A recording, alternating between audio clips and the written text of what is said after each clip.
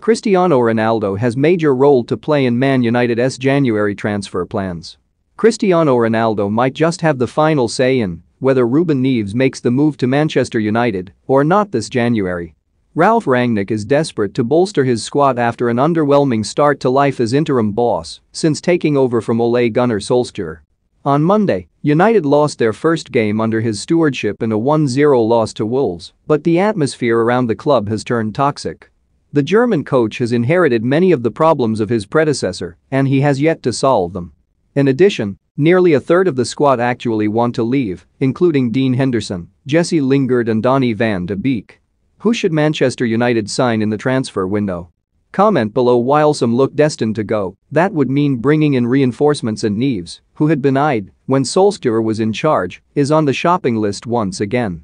According to The Sun, Neves is set to be the subject of a £35 million bid, though Wolves are looking for more than £40 million.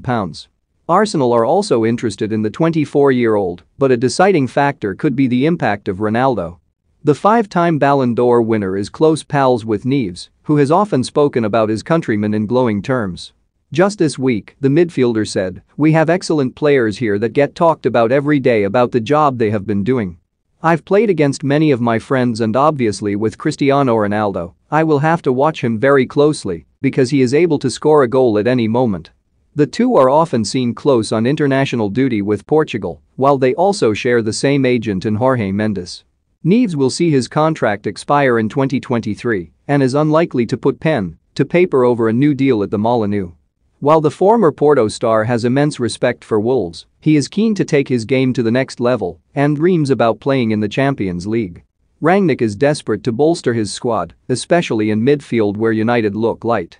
Scott McTominay and Fred on first choice at Old Trafford, while Nemanja Matic provides backup, but Van de Beek is set to leave as well as Neves, several other midfielders have been tipped to make the move to the club.